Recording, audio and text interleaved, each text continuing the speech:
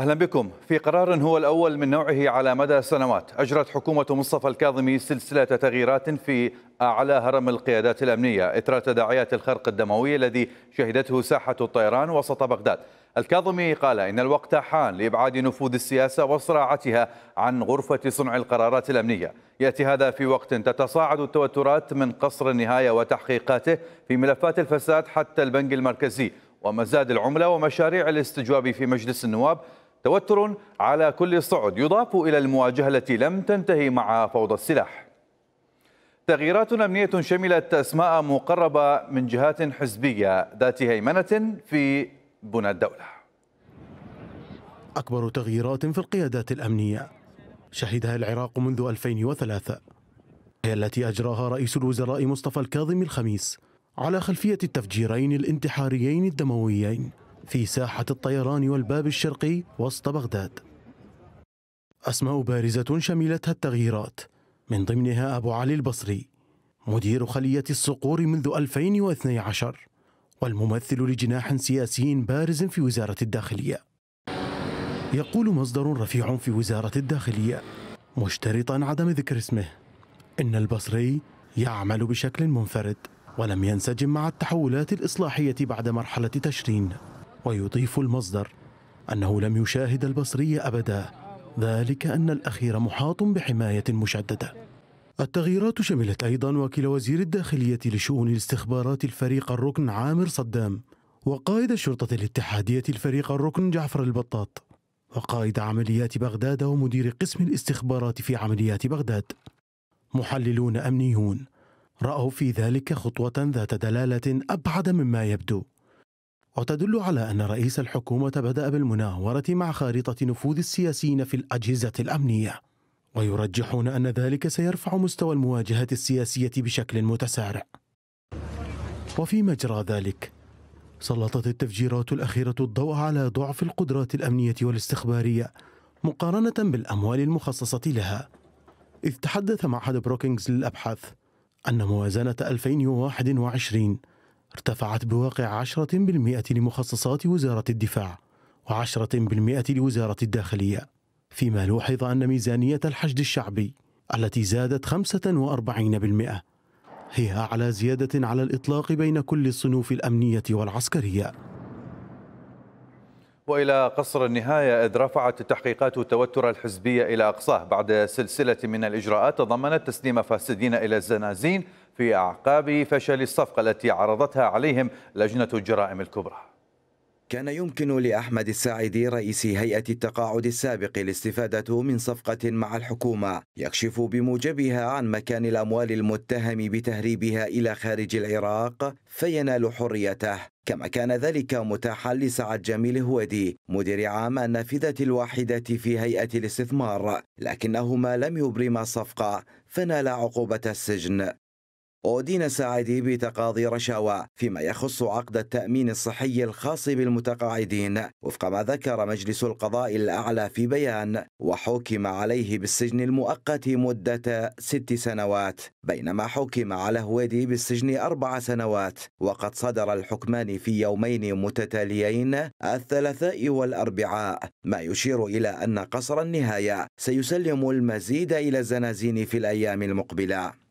مصدر مطلع على سير تحقيقات لجنة الجرائم الكبرى أبلغ يو تي في أن صفقة الإفراج تتضمن أيضا الاعتراف على شركاء التهريب وليس الكشف عن أماكن الأموال المهربة فقط وهو ما رفضه المدانان بضغط من الجهات السياسية المرتبطين بها لأنها تخشى أن تؤدي الاعترافات إلى كشف الغطاء عن ملفات كثيرة فتخلت عنهما ليواجه مصيرا قد يواجهه آخرون من المحتجزين في قصر النهاية. في مجرى ذلك حدد مجلس النواب الأربعاء المقبل موعدا لاستجواب محافظ البنك المركزي العراقي مصطفى غالب مخيف. وبحسب وثيقة صادرة عن مجلس النواب فإن طلب الاستجواب تقدم به النائب فالح ساري من دون ذكر أسباب الاستجواب وأهدافها. بما يقول خبراء إن البنك المركزي العراقي يتعرض لضغوط سياسية من قبل جهات تضررت مصالحها المادية بعد الإصلاحات الأخيرة والتي اقترحها البنك الدولي للعراق لتطوير وضع الاقتصاد.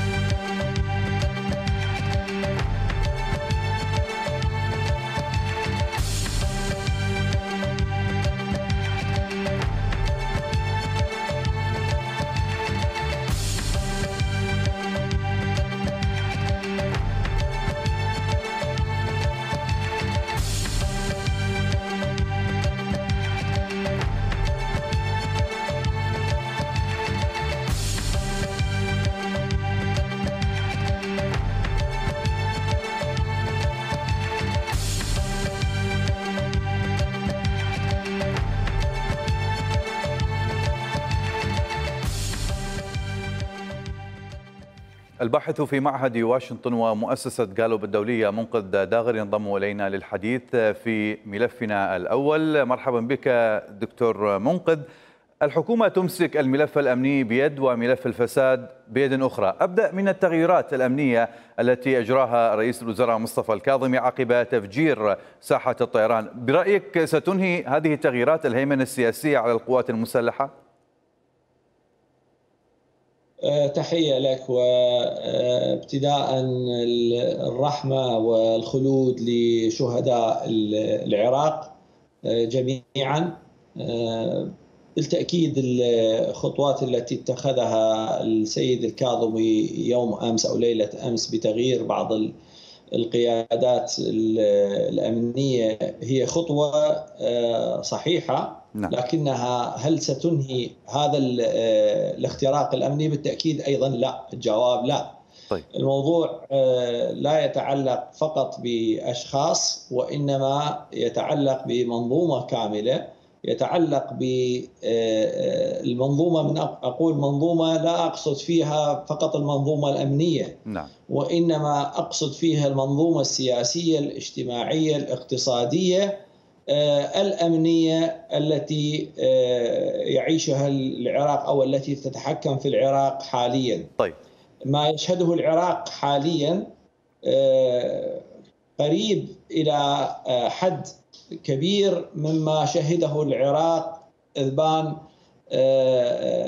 يعني آه، احتلال داعش لبعض المناطق وأوج قوة داعش، نعم طيب. داعش أصيبت بضربة قاصمه لكنها لا زالت قوية والظروف الآن تبدو الظروف السياسية والانشقاقات والعدم الارتياح الشعبي آه، الموجود كلها تسهم عوامل تسهم في لا.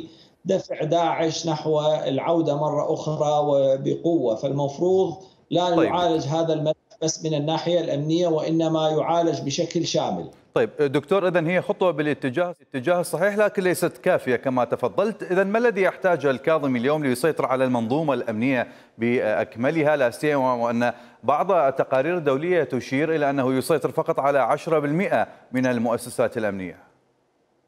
يعني هي الموضوع آه، 10% أو 20% ما أعرف شلون يقيسونها لأن شلون تنقاس هذا الموضوع. لكن بالتأكيد موضوع المحاصصة الذي ابتلي به العراق والذي شمل المنظومة الأمنية أيضا هو آه، واحد من المشاكل الكبرى. وموضوع المحاصصة هو ليس موضوع أمني هو موضوع سياسي. نعم. ولذلك أنا أقول ال ال ال آه، السيد الكاظمي إذا أراد أن يتعامل آه، آه، أو آه، يمنع هذه الانفجارات من أن تعود مجددا ويمنع نشاط داعش من أن يعود مجددا نعم. وبالمناسبة هناك احتمال وارد جدا أن تكون هناك انفجارات أخرى نعم. خروقات أخرى يعني هذه محتملة جدا. إذا أراد المعالجة فلا تكفي المعالجة الأمنية. المعالجة الأمنية سبق أن جربها المالكي سابقا قبل آه، ظهور داعش وفشلت. طيب. إذا ما موجود إذا ما موجود اتفاق سياسي اجتماعي يعالج المشاكل التي يعاني منها العراق سواء على الصعيد الاقتصادي أو على الصعيد السياسي أو على الصعيد الأمني نعم. فلا يمكن أن تحل هذه المشكلة. طيب آه، دكتور إبعاد الهيمنة السياسية لا تقتصر فقط على الملف الأمني بل حتى على الملفات المرتبطة بصنع القرار وأبرزها تحقيقات قصر النهاية ولجنة آه، الجرائم الكبرى، إلى أي مدى يعني ستقوض هذه الإجراءات صفقات الفساد الكبرى في العراق؟ آه، شوف السيد الكاظمي الآن أمامه فرصة نعم. آه، عليه أن لا يضيعها آه، هذا الغضب الشعبي والسياسي الناجم عن تفجير يوم أمس يمكن أن يستثمر لتصحيح المسارات. طيب. آه، من عندها موضوع المسار الأمني ومن عندها المسارات الأخرى التي هي أيضا تعاني من إشكالات الضغوط السياسية. يعني موضوع الفساد وكشف الفاسدين. نعم هناك خلينا نقول بدأت الأسماك الكبيرة يتم اصطيادها لكن لا زلنا ننتظر الحيتان الحيتان الكبيرة. الحيتان الكبيرة لا زالت ضاغطة على المشهد لا زالت تمنع تطور العمل لكي يأخذ كل مداياته. ما لم يستغل السيد الكاظمي هذه الفرصة لكي يقفز خطوات إلى الأمام ويذهب إلى أبعد من مجرد مدير عام هنا أو مدير عام هناك طيب. وإنما الإطاحة بالرؤوس الكبيرة هذا كله مثل ما قلت لك هي وان باكج هي طيب دكتور واحدة. ما ممكن أنت تعالج نعم. بس وحدة وتعوف وحدة. طيب مصادر تقول دكتور إن إن لجنة الجرائم الكبرى تعقد صفقات مع الفاسدين لاسترداد الأموال المهربة والكشف عن شبكات الفساد وحيتان الفساد الذي تحدثت عنهم. راح تنجح برأيك التجربة العراقية على غرار التجربتين السعودية والمصرية؟ ما هي أدوات النجاح أه التي لا, لا يمتلكها العراق؟ لا. الأدوات اللازم نجاح مثل هذه الخطوات غير متوفرة بالعراق، أنطيك مثل. نعم. في في مصر أو في السعودية أو في أي بلد آخر هناك سلطة واحدة متحكمة، هناك دولة واحدة متحكمة بالمشهد، أما في العراق فإن هناك أكثر من دولة، هناك الدولة الظل أو دولة الأشباح دولة الأشباح أو ما يسميها البعض الدولة العميقة هي نعم. المتحكمة بالمسار طيب. بمعنى أنا متأكد لو كان الظرف غير هذا الظرف لكان هؤلاء المدراء العامون الذين أطيح بهم عقدوا صفقة مع الدولة ليكشفوا أسماء الحيتان الكبيرة نعم. لكن بما أن السلاح المسيطر على العملية السياسية في نعم. العراق والمتحالف مع المال السياسي في العراق هو المتحكم بالعمل. بمعنى أنه طيب. أنا متأكد الآن أنه إجاهم تهديد. إذا عقدتم مثل هذه الصفقة فعوائلكم كلها راح ننهيها. أو ستتعرضون إلى القتل في داخل السجن ممكن يكون. نعم دكتور. فلذلك صعب جدا أن تعقد مثل هذه الصفقات إذا مو الدولة لديها الأدوات القادرة على إنفاذ القانون طيب. والقادرة على حماية الشهود في أمريكا مثلا هناك ما يسمى ببرنامج حماية الشهود برنامج حماية الشهود برنامج فدرالي تصرف عليه الحكومة بشكل كبير مصمم لكي يحمي الشهود نعم دكتور. من عتاة المجرمين ومن ويحمي الشهود وعوائلهم من عتاة المجرمين. طيب. مثل هذا الشيء إحنا اللي نحتاجه بالعراق. نعم الباحث في معهد واشنطن ومؤسسة جالوب الدولية دكتور منقذ داغر أشكرك جزيل الشكر لتواجدك معنا.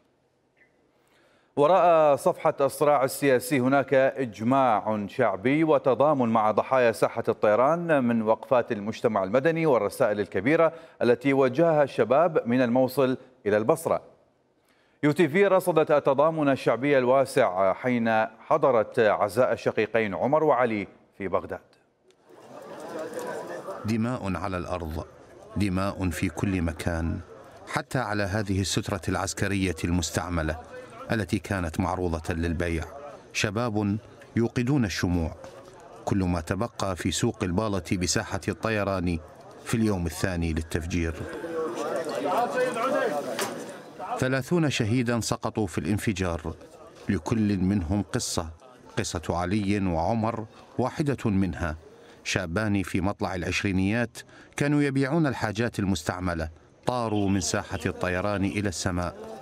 تاركين والدا مفجوعا ينظر إلى الناس بعينين شاحبتين ويبكي دون دموع.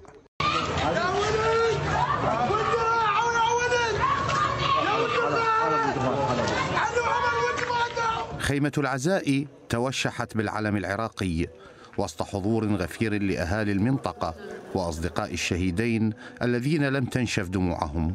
شابان لم يمضي على زواج أكبرهم سنة والأصغر ستة أشهر. وزوجهم ما صار واحد عندهم سنة وواحد صار له يمكن تقريبا ست شهور هيك سبع شهور اثنينهم عرسان جدد هم يروحون الطريق يطلعون الصبح ويرجعون من الليل ويشتغلون عندهم بسطيات على باب الله.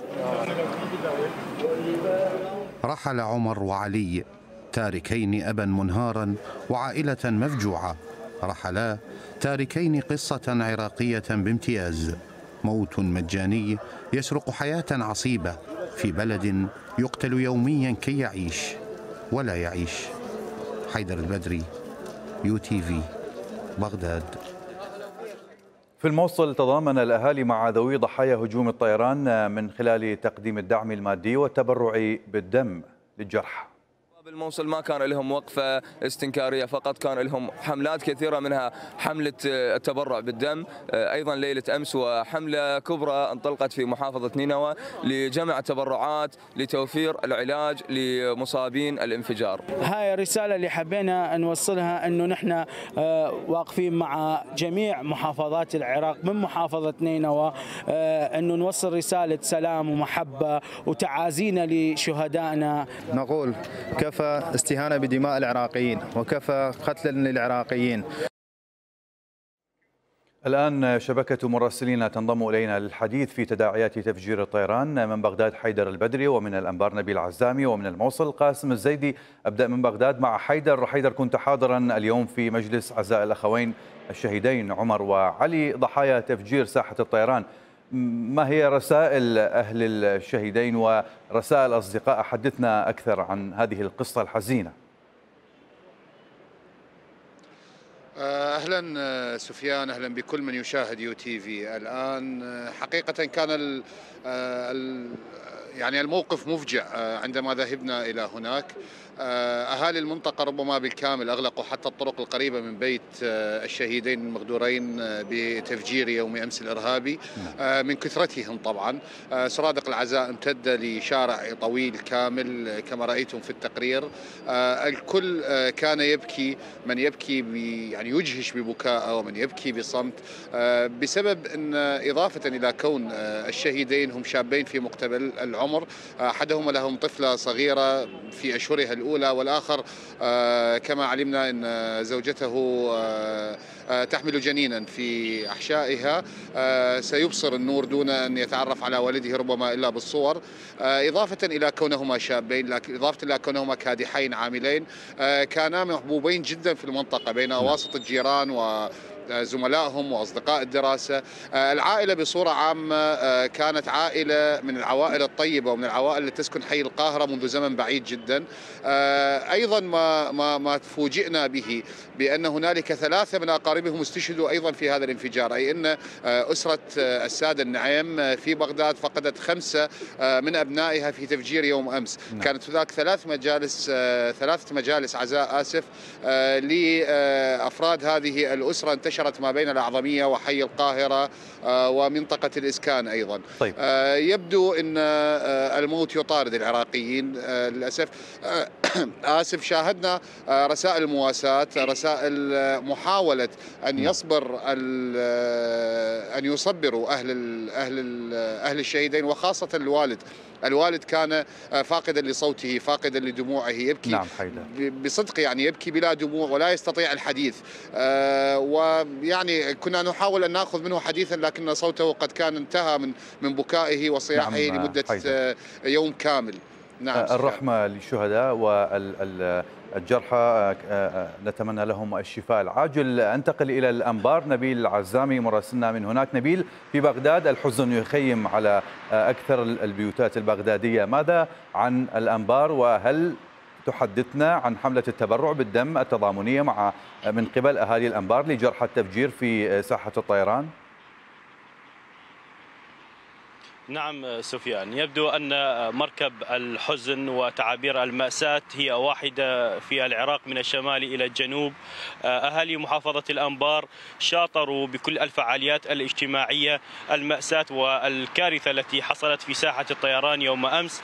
عديد من الفعاليات منها اليوم الجمعة كانت صلاة على أرواح الغائبين في عموم أقضية محافظة الأنبار. كذلك تبرع الكثير من شباب وأهالي محافظة الأنبار بالدم عند المستشفيات في المحافظة. كذلك سفيان هناك تجمع لعدد من الشباب وكذلك وجهاء المحافظة للذهاب إلى عوائل الضحايا وتقديم نعم. العزاء وكذلك المواساة لهذه العوائل التي فجعت في هذه الحادثة الأليمة. حقيقة كانت هناك العديد من يعني الرسائل في محافظة الأنبار انطلقت إلى بغداد وإلى ضحايا التفجيرات الأخيرة نعم. حدثت الكثير من ال يعني ال الإجراءات والأمور التي تداولها بعض المواطنين وحتى مواقع التواصل الاجتماعي عن تغييرات أمنية منها تغيير وزير الدفاع وكذلك محاولات لتغيير عدد من القيادات الأمنية. لكن محافظة الأنبار وخلال السنوات الماضية منذ استعادتها من تنظيم داعش الإرهابي آثر المواطنون نعم. إلى أن يكونوا صفا واحدا مع القوات الأمنية وتقديم المعلومة الأمنية التي يعول على أن تكون المحافظة فيها مستقرة من خلال خصوصا الإحصائيات الأخيرة أشارت إلى أن محافظة الأنبار منطقة منزوعة السلاح طيب. وكذلك مستوى الجريمة يتم الكشف عن خلال أقل من 24 ساعة. نعم سفيان. نعم نبيل أنتقل إلى نينوى ومن هناك مراسلنا قاسم الزيدي. قاسم هذه المحافظة ومدينة الموصل تحديدا لم تكن بعيدة عن هذه الوقفات التضامنية مع ما حدث في بغداد. هناك وقفة تضامنية اليوم تحت شعار دماء الشهداء.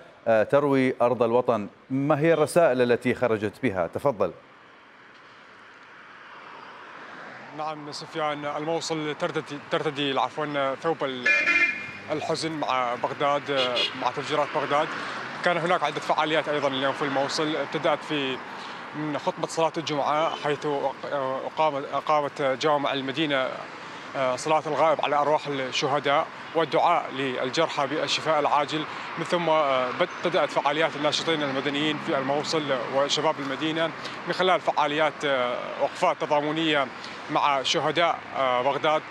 حقيقة هذه الوقفات تضمنت رسائل إرسال رسائل إلى ذوي الشهداء والجرحى أن الموصل شباب الموصل معكم. أيضا كان هناك وقفة ثانية في عند رصيف الكتب اليوم مساء اليوم. نعم. هذه الوقفة أيضا تم إيقاد الشموع فيها. 32 شمعة أوقدت مع عدد ضحايا ساحة الطيران في بغداد. نعم نعم شبكة مراسلين من بغداد كان معنا حيدر البدري ومن الأنبار نبيل عزامي ومن الموصل كان معنا قاسم الزيدي. شكرا جزيلا لكم. ومن التضامن الشعبي إلى المخاوف في المدن العراقية نتابع هذا الملف مع الزميلة رويدة التميمي. إليك رويدة. شكرا سفيان. أهلا بكم مشاهدينا. سنوات الاستقرار الأمني لم تنتهي لكن الخرق الحاصل في ساحة الطيران جعل العراقيين يستذكرون خروقات نادرة شهدتها الفترة الماضية مثل اللغم البحري في الناقلة بولا في البصرة وهجمات الصواريخ في أكثر من مكان. الجميع في جنوب العراق في حالة ترقب انعكست على حياة الناس اليوم. في ملفنا هذا سنناقش تداعيات هذه الأحداث. نتابع هذا الملف بعد الفاصل.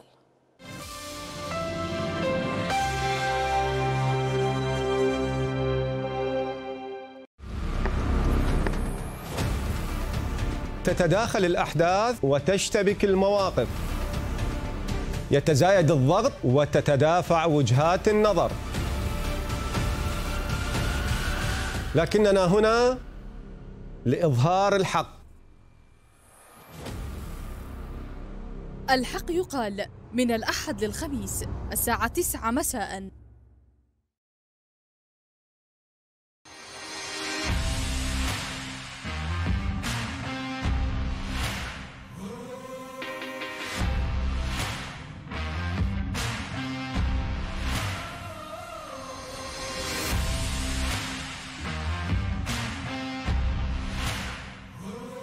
ترقبوا مباراة العراق والكويت يوم الأربعاء الساعة 6 مساء على يو تي في.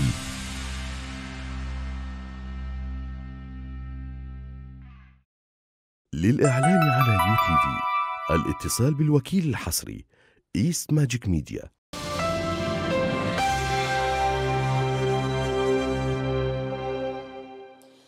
أهلا بكم من جديد. تعود المخاوف من خروق أمنية مشابهة وإجراءات احترازية مشددة تشهدها أغلب المدن العراقية. المزيد في سياق هذا التقرير. الخطر قائم. هكذا تلقفت الأجهزة الأمنية في أغلب المدن العراقية رسالة الموت في ساحة الطيران وسط العاصمة. زادت السلطات إجراءات أكثر شدة فوق إجراءاتها المشددة أصلاً. يقول قادة أمنيون إن المخاوف من خرق أمني كبير لم تتوقف منذ سنوات لكنها تضاعفت مؤخرا بعد حادثة اللغم البحري على الناقلة بولا في موقع استراتيجي مهم كمياه البصرة وهي حادثة نادرة الوقوع وخطيرة. على الأرض ضاعفت قوات الأمن نشاطها بإجراءات شملت معظم المحافظات. استنفار على نطاق واسع وإجراءات مشددة على المداخل والمخارج في بابل وكربلاء والأنبار. وكذلك ذي قار التي غادرها رئيس جهاز مكافحة الإرهاب بعد زيارة خاطفة متجها إلى البصرة التي شددت هي الأخرى إجراءاتها وقررت على غير العادة إغلاق سوق الجمعة المكتظ. فيما نشرت النجف دوريات جوالة لتأمين مناطق التجمعات في أنحاء المدينة. الجهود المحلية عملت مع شراكات دولية لتطوير الجانب الاستخباري خلال فترة الهدوء النسبي بعد انتهاء المعارك مع داعش. وقيل إن معدات التنصيب والمراقبة وأساليب اختراق شبكات العنف باتت أفضل. بموازاة ذلك يجري الحديث بعد كل خرق عن ضعف في منظومة المراقبة الأمنية. على الرغم من إعلان السلطات مرارا عن نصب شبكات متشعبة من كاميرات المراقبة في أغلب شوارع بغداد. آخرها إعلان الحكومة أواخر العام الماضي عن خطة جديدة لتعزيز تلك الشبكات التي يقول مسؤولون مطلعون أن جزءا منها تعرض للتعطيل عمدا فيما أسهم الفساد بإهمال جزء آخر منها. المراقبون يراهنون على تعزيز الشراكة الاستخبارية مع دول المنطقة والتحالف الدولي كجزء جوهري في مساعدة العراق على الوفاء بدوره المسؤول كشريك في أمن المنطقة واقتصادها. في ذي قار شددت الأجهزة الأمنية من إجراءاتها في عموم مدن المحافظة ومداخلها بالتزامن مع تفجير الطيران عن تلك الإجراءات ينضم إلينا من هناك مراسلنا أحمد السعيدي. مرحبا بك. أحمد يعني كيف تابعت الإجراءات الأمنية والجهد الاستخباري والأمني هناك في محافظة ذي قار؟ وهل شملت هذه الإجراءات جميع مدن المحافظة؟ نعم شملت هذه الإجراءات جميع مدن المحافظة جميع المداخل الرئيسة التي يأتي إليها الوافدون من محافظات أخرى إلى محافظة ذي قار ذي قار أعادت العمل بنظام الكفيل الذي يشمل دخول الوافدين إليها من غير سكنتها والذي يشترط على وجود كفيل ضامن للشخص الذي يدخل إلى محافظة ذي قار من غير أهلها. هذا النظام الذي آه، تم العمل به بعد الاستهدافات التي شهدتها مدينة الناصرية في عام 2013 2019 آه، آه، يعني خفف قبل عامين لكن عادت إليه السلطات الأمنية هنا في محافظة ذي قار العمل به قبل شهرين واليوم آه، في ظل التحديات الأمنية التي أعقبت انفجار ساحة الطيران زادت القوات الأمنية من التشديد من تجديد الإجراءات على الوافدين وأيضا قامت بت يعني بتعزيز القدرات الأمنية داخل مربع المدينة. نعم رويدة يعني أحمد ماذا عن الطرق الخارجية هل تم نصب نقاط تفتيش هناك أو إجراءات أمنية جديدة؟ يعني هو الإجراء الاعتيادي آه، في المداخل الرئيسة التي تدخل المحافظة من أربعة مداخل مهمة من محافظة واسط والبصرة وبغداد ومدخل مدينة آه، محافظة ميسان هذه المداخل شددت فيها الإجراءات الأمنية و آه، يعني أنا شاهدت في بعض المداخل هناك عمليات تدقيق للوافدين نعم. يعني عبر الحاسبة الإلكترونية وأيضا في داخل المدينة هناك آه، حواجز آه، مفاجئة وأيضا آه، عمليات تكثيف للجهد الأمني والاستخباراتي خصوصا للطرق النيسمية كما يعني ذكر مصدر أمني باتصال هاتفي مع يو تي في طيب كيف نعم تعامل أهالي يعني المحافظة مع هذه الإجراءات الأمنية الجديدة؟ وما هي ردود أفعالهم؟ يعني أول رد فعل هو اليوم في ساحة الحبوبي وهو يوم الجمعة ويوم ال ال اليوم الاعتيادي للتظاهر بعد اتفاق الحبوبي. اليوم في الحبوبي هناك مئات من المتظاهرين أدانوا آه، حادث الانفجار وأدانوا أيضا الإجراءات الأمنية التي أدى يعني هذا الفشل الأمني الذي أدى إلى هذا الخرق الأمني الكبير. أيضا اتحاد الأدباء في محافظة ذي قار أقام آه، يعني وقفة استذكارية وأشعلوا الشموع مساء أمس. آه كذلك شيعت محافظة ذي قار أحد شهدائها الذين سقطوا في آه انفجار آه الباب الشرقي وهو شاب يعمل في شركة خاصة آه استشهد في آه هذا الانفجار وهو شاب يسكن آه مدينة قلعة السكر شمال مدينة الناصرية. هناك تعاطف كبير وهناك أيضا غضب كبير وتحسب كبير أيضا و يعني ترقب أيضا للوضع الأمني سيما وأن محافظة ذي قار تعرضت إلى خرق أمني كبير في عام 2017 بما عرف نعم. بمجزرة فدك التي اعتبرها تنظيم داعش في ذلك الوقت أحد الخطوات المهمة لضرب العمق الاستراتيجي للدولة العراقية خصوصا وأن نعم. المكان الذي استهدفه يبعد أكثر من 300 كيلو عن العاصمة بغداد. نعم, نعم أحمد السعيدي مراسلنا من ذي قار شكرا جزيلا لك. وكانت هذه الأوضاع في ذي قار. أما في النجف الأشرف فنتعرف على الأوضاع الأمنية والإجراءات هناك مع مراسلنا حسام الكعبي. مرحبا حسام. إذا كيف هي الإجراءات الأمنية في النجف وكيف الأوضاع هناك؟ نعم يا رويدة يعني النجف اليوم الأجهزة الأمنية انتشرت بشكل واضح في أغلب المحافظة عن طريق السيطرات المشتركة المؤقتة وهنالك تجديد في السيطرات الخارجية في جميع مداخل المحافظة. أجرت يو تي في اتصالات مع قيادات أمنية في النجف واكدت إن المحافظة لم تتعرض إلى أي تهديد أمني خصوصا مع استمرار أو تكثيف جهود الجهد الاستخباري في المحافظة لكن تحسبا لأي طارئ أمني بدأوا يعملون بشكل أوسع وانتشرت الأجهزة الأمنية بشكل أكبر وخصوصا كما ذكرت الأجهزة الاستخبارية. أيضا اليوم كانت هنالك تجمعات في الأسواق وكالمعتاد العراقيون في جميع المحافظات هنالك أسواق ليوم الجمعة وتجمعات للمواطنين بسبب أن اليوم عطلة. فكانت الإجراءات مشددة من قبل الأجهزة الأمنية. أيضا تضامن واسع من قبل المواطنين في النجف وكانت هنالك حملات مستمرة عبر مواقع التواصل الاجتماعي وحتى على أرض الواقع خرج العشرات من الناشطين والشباب في تحت مجسرات ثورة العشرين تضامنا مع أهالي الضحايا ويطالبون إبعاد الملف الأمني والأجهزة الأمنية عن التدخلات الحزبية. نعم وضحت هذا الملف يقولون هذا الملف يجب أن يبقى مستقل عن أي تدخل نعم. حتى لا يحدث مثل هذه الخروقات يعني يوم أمس تطرق عدد كبير من المدونين والناشطين والصحفيين في مواقع التواصل الاجتماعي إن كيف لمحافظ أو أو قائدا لشرطة ما يعاقب ضابط ربما خالف واجباته كيف تتدخل الأحزاب بصورة كبيرة لتضغط وتقوم نعم. باسترجاع هذا الضابط. نعم. لذلك هذه التدخلات هي من تسببت بهذه الخروقات الأمنية. نعم حسام الكعبي مراسلنا من النجف. شكرا جزيلا لك. نبقى في سياق الملف حيث تخوف مواطنون من سامراء وسيماوة من تكرار حوادث التفجيرات في الفترة المقبلة نتيجة الصراعات السياسية.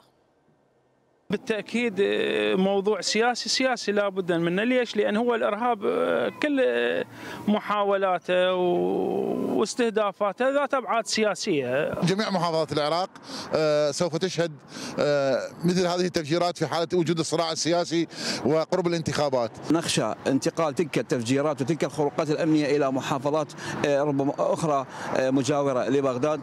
هذا حقيقة مخاوف يعني وهواجس المواطن العراقي الفقير الذي عانى الكثير من هذه الحكومة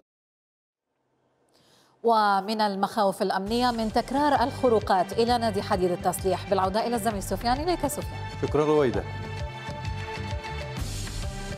أهلا بكم مجددا. يتأهب العراق لدخول نادي الكبار في صناعة الحديد الصلب مع قرب افتتاح أحد أهم المعامل في البصرة بما تتجه حكومتا بغداد وأربيل إلى إزالة الحواجز التجارية والصناعية من خلال لجنة مشتركة شكلها الطرفان هذه تطورات في سوق العراق تتزامن مع تحذيرات من تآكل حصة بغداد في سوق آستي النفطية بعد خفض الإمدادات السنوية من نفط البصرة إلى المصافي الهندية.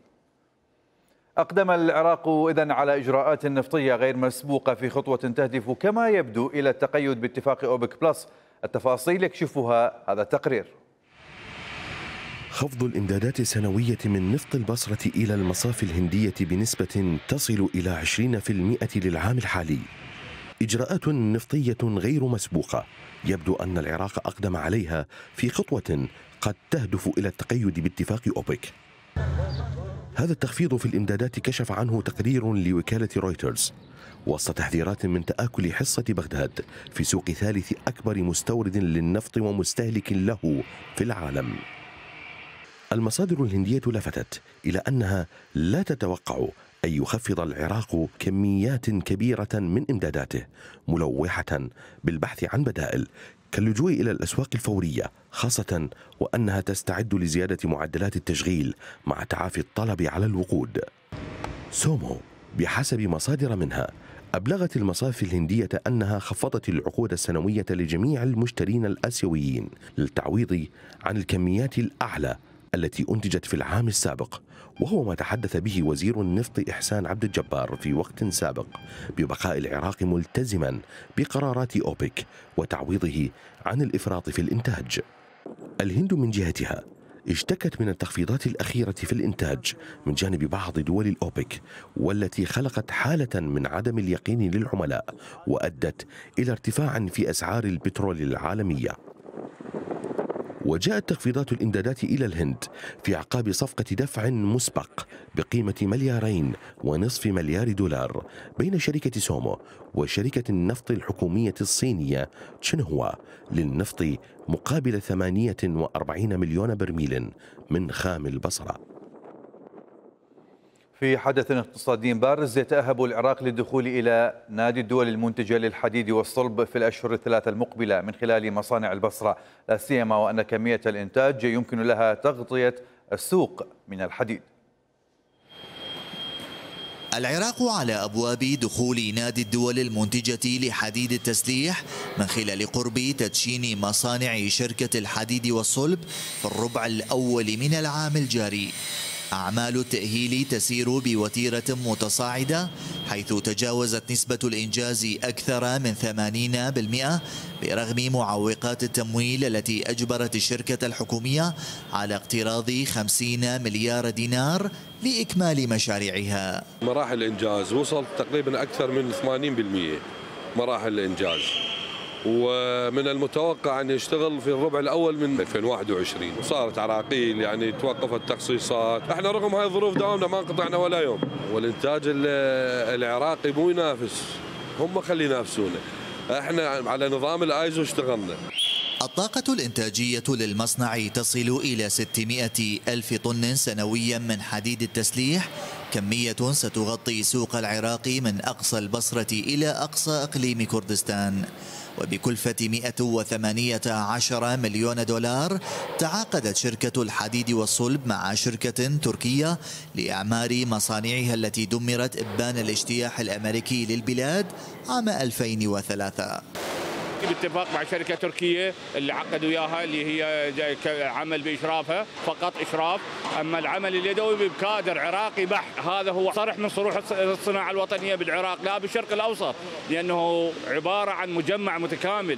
شركة الحديد والصلب ومقرها البصرة بنتها شركة فرنسية في سبعينيات القرن الماضي وتوقع القائمون عليها أن تصل الأرباح السنوية إلى حوالي 60 مليون دولار بعد تشغيلها مجدداً. خطوات حثيثة تبذلها وزارة الصناعة والمعادن لإعادة تشغيل ماكينات مصانع شركة الحديد والصلب في ظل حديث حكومي عن تنويع مصادر الدخل وعدم الاعتماد على مداخيل النفط. سعد قصي يو تي في مدينة البصرة. وللحديث في ملف الصناعة ينضم إلينا من البصرة الخبير الاقتصادي والصناعي دكتور أحمد صدام دكتور أحمد مرحبا بك.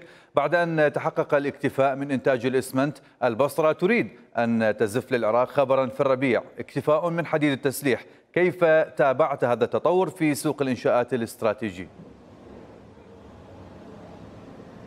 مساء الخير لحضرتك وللمشاهدين الكرام. يعني هذه أكيد خطوة في الاتجاه الصحيح وإن جاءت متأخرة. مسألة الحديد والصلب وزيادة الإنتاج في مجال الحديد والصلب له آثار إيجابية في الحفاظ على قيمة العملة إذا ما افترضنا أن العجز في مستوى الحديد والصلب يتم استيراده من الخارج نعم. وبالتالي هي باعث أساسي نحو القطاعات الإنتاجية والقطاعات الإنشائية الأخرى يعني سد الحاجة المحلية للسوق مسألة مهمة في تفعيل الأنشطة الاقتصادية المختلفة. إذا ما أخذنا بنظر الاعتبار أن صناعة الحديد والصلب تحتاج إلى طاقة وهذه الطاقة متوفرة. كونها يعني تستهلك طاقة نفطية كبيرة في مجال الإنتاج وهناك يعني ميزة تنافسية للعراق وهذا معروف تتمثل في توفر مصادر الطاقة المشغلة لهذه الصناعات.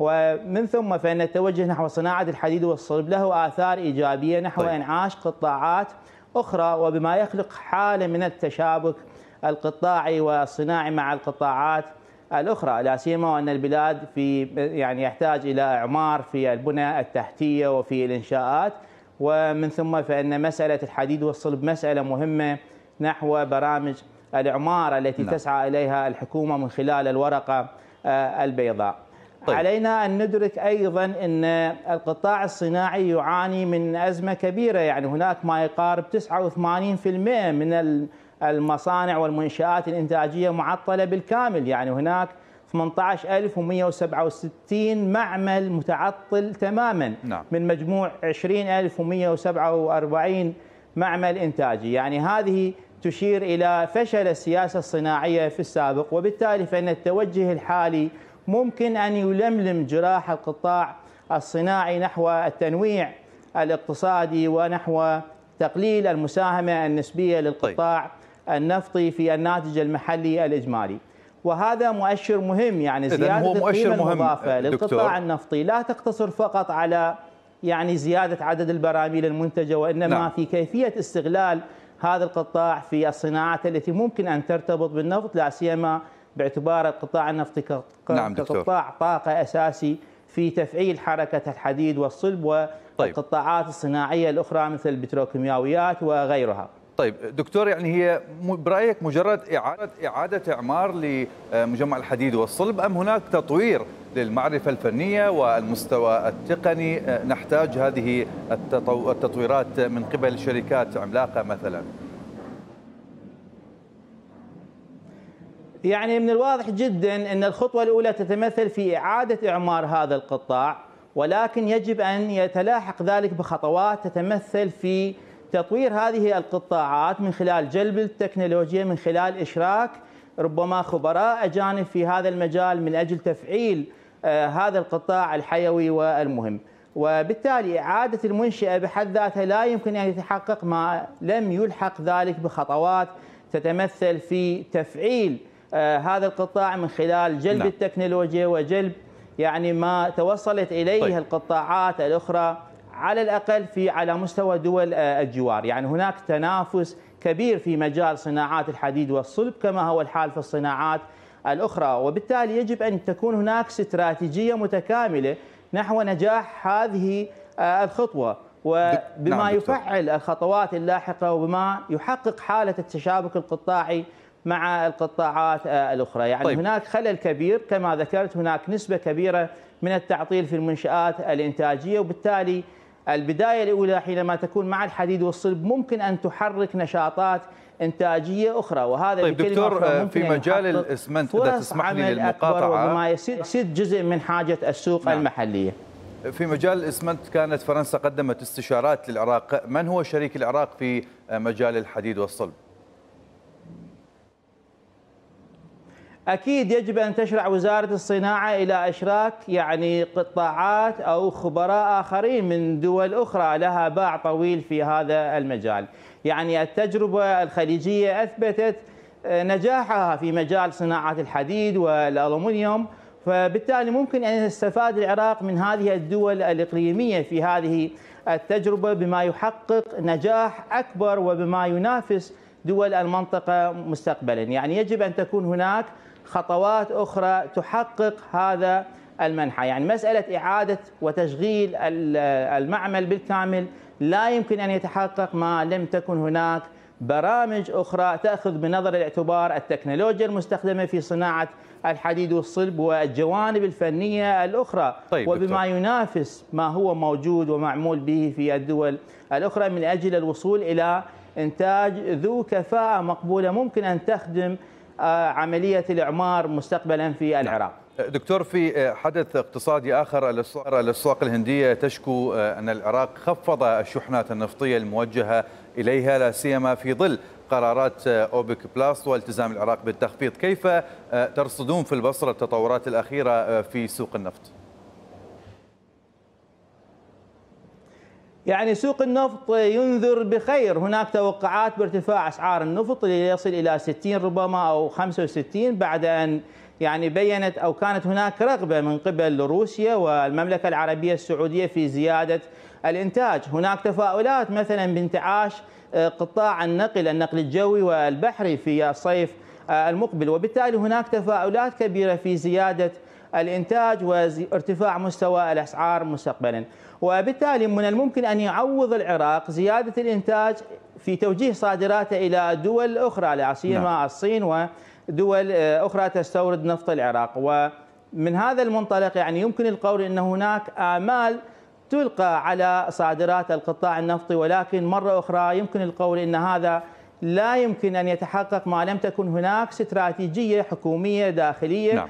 استراتيجية اقتصادية تأخذ بنظر نعم. اعتبار هذه الزيادات في القطاع في أسعار الصادرات نعم. النفطي اللي يمكن توظيفها في إنعاش وتنشيط القطاعات الصناعية الأخرى نعم. في الداخل العراقي أملا في تحقيق مستوى جيد من التنويع الاقتصادي وفي سبيل يعني تلافي الأزمة طيب الحالية يعني هذه الأزمة اليوم هي بمثابة درس كبير لصناع القرار في نعم. الداخل العراقي وبالتالي يتوجب عفوا على الحكومة أن تأخذ بنظر الاعتبار أن أي زيادة في صادرات طيب. العراق النفطية يجب أن توظف نعم دكتور في خدمة القطاعات الغير بهذا القدر وأعتذر منك لضيق واقع الاقتصاد العراقي مستقبلا. الخبير الاقتصادي الدكتور أحمد صدام شكرا جزيلا لانضمامك إلينا.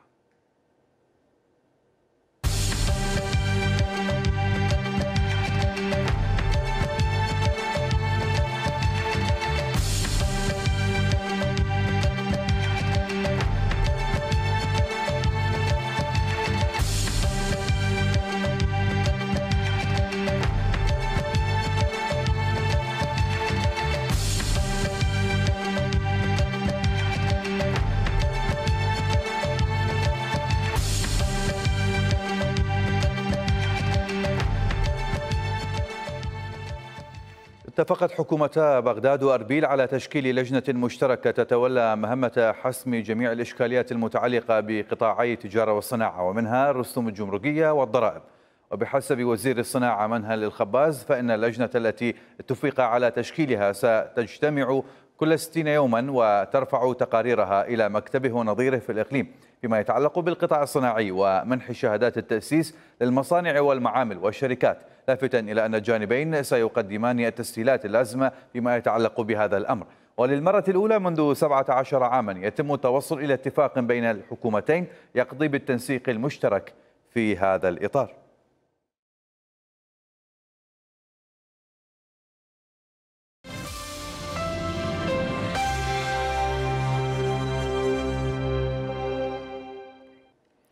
شبكة مراسلي تي في تواصل رصد قوافل الإبل في الصحراء الغربية جنوبا وشمالا لموسم الشتاء والمراعي الجديدة. هذه المرة الزميل حمزة الأسدي عثر على القوافل في بادية واسط على الحدود العراقية الإيرانية حيث البدوي لا يتخيل نفسه سوى بدوي.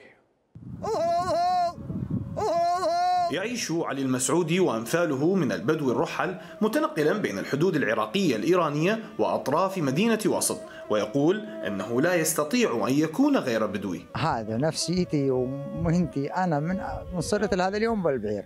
هسه قول لي غير شغلة غير البعير ما أعرف. قول صير فلاح ما أعرف كل شيء ما أعرف. هسه غنم ما أقدر أجنيه. قوافل الإبل في المنطقة الواقعة بين نهر دجلة وجبال إيران تتعدد أنواعها في القافلة الواحدة. فبينها الأشعل والأصهب والأبهق والعفر.